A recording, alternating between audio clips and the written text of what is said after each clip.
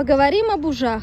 Вот смотрите, а, у меня два вида ужей. Поймала прямо вот здесь, на реке.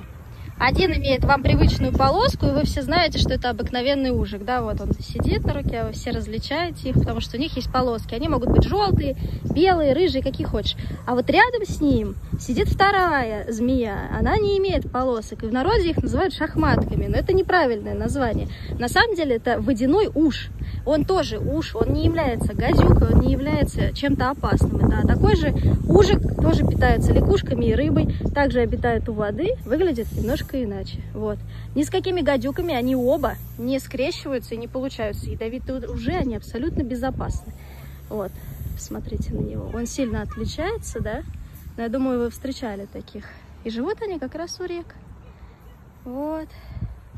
Если есть еще вопросы, задавайте, расскажу что-нибудь. Вот сейчас они поползут вместе. Кто куда. Ползи. Видите, какие они на самом деле разные. Все, все, можно сделать. Ползи, ползи, ползи, ползи. Все, они уползли.